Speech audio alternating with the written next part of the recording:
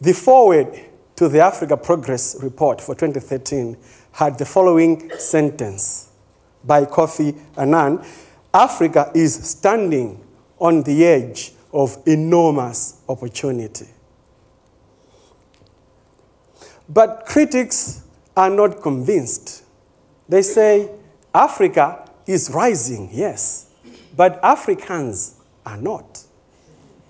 In the same report, it is revealed that annually 34 billion US dollars is siphoned out of Africa every year by Western corporations in conjunction with African elites through deals in mining and oil. And not too long ago, there was a headline in the, the Daily Times, one of the dailies here in Malawi. It said Malawi was going to need 74 years for it to eradicate poverty. When I saw the headline, I thought of the Malawians who have already had their poverty eradicated and those who haven't. I thought of the contradictions that stare you in the face. We have glamorous shopping complexes sitting side by side with dilapidated market squares, only separated by very dusty, fully potholed Devil Street. I thought of this particular stretch in Old Town, Lilongwe. You've got one of Malawi's best and most successful banks. Next to it is a chain grocery store. And next to that is a very expensive restaurant. And then a mobile phone company, two upscale car dealerships.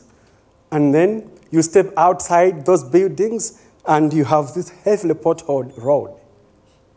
And I thought, okay, for some of these, they have had their poverty eradicated, but for the potholes, they need 74 years. but these guys, the people in, sitting in our parliament, they don't need 74 years. They've already had theirs eradicated. The optimism, the Afro optimism that I am envisioning doesn't come from the global headlines that are salivating about deposits of oil and minerals in the soil. Rather, it is Africa owned. It originates from Africans ourselves. It is a philosophy that we use in Southern Africa. We call it umunthu in Chichewa, in English, personhood or humanness. It is a philosophy that says, You are, therefore I am. I am not a human being until there is another person. It's because you exist that I exist. And the question I ask myself is what if we would put umunthu at the center of our policy formation? To illustrate this, let me tell you a story. In 2010, June, I met with a group of teachers, primary school teachers at Lilongwe Teachers College here in Lilongwe. The idea for the meeting was for us to begin a group where we would meet and share ideas about how to become a better teacher. An even bigger goal was teacher empowerment. How do teachers address the helplessness and the hopelessness they feel about the conditions of school in Malawi, about education in the country? At the end of the meeting, one teacher approached me. His name was Amos Machakaza. He approached me and asked for a ride to a local university. He was a standard four teacher at Lilongwe demonstration teachers demonstration school. So I was curious, how are you paying for your degree? You're a primary school teacher. And he told me 90% of his salary went toward his degree program. They even had had their electricity disconnected. He didn't have recourse to a scholarship or a loan or any form of support. They were able to survive only because his wife was also working another primary school teacher. I went home that night and I tweeted about Amos and what he was going through. I got several responses, but there was one particular response which made a difference. It came from Hastings Fukula Nyeka Nyeka, a friend of mine. a former classmate of mine from Standard 8 back in the days. Fukula promised to support Amos until he finished his degree, and he did. And so in March this year, Amos graduated with his degree in theology.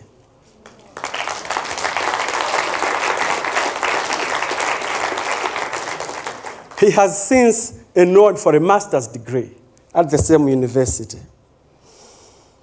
And then in November 2012, last year, the Malawi News, a weekly newspaper here, published a story about Mike Demesteb Nhoma.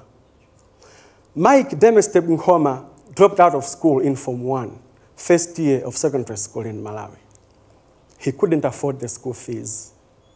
His mother had died, and his father was struggling to pay the fees. So he dropped out, and he went to look for a job. He found one as a garden boy. He was working for Juliana Lunguzi, a lecturer at the University of Malawi's Kamuzu College of Nursing.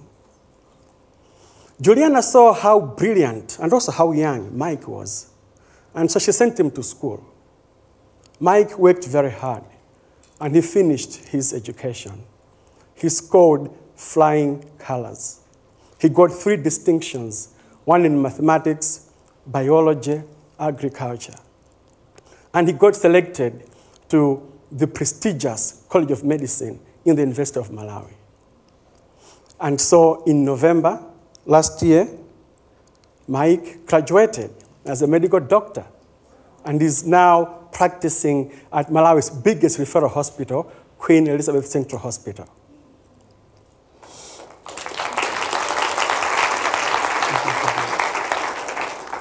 You already know about the boy who harnessed the wind.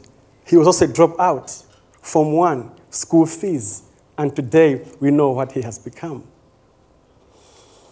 The reason why many Malawians fail to achieve their ambitions is not because they are lazy or because we are a poor country. That may be true, but there is an underlying reason, and it's the assumption we put into policy formulation we think that intelligence and human potential are fixed and they're limited, that certain people don't have it and they can't go beyond. And so it affects our policy formulation. As an example, we are the only country in the world that I know of that pays students to go to public university, pays them allowances. And as I'm talking, they are on strike. They want more.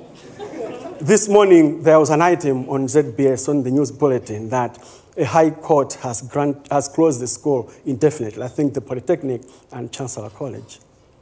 The only exception, I think, are the students we saw earlier this morning from Chitsanzo's talk, those who are redesigning LIMBI. Those students, they definitely need support. They need scholarships. But while we spend these millions of kwacha, on student allowances in public universities. Every year, tens of thousands of Malawians drop out of primary school and secondary school because they can't afford the school fees or the expenses that go with going to school. In 2010, the National Statistics Office released its Malawi Demographic and Health Survey. 2010. In that report, they revealed that 89% of Malawian females aged 18 and above have not attained a secondary school education. For men, the figure is not too different. 82% have not attained a secondary school education. In other words, more than 70% of Malawians aged 18 and above haven't attained a secondary school education.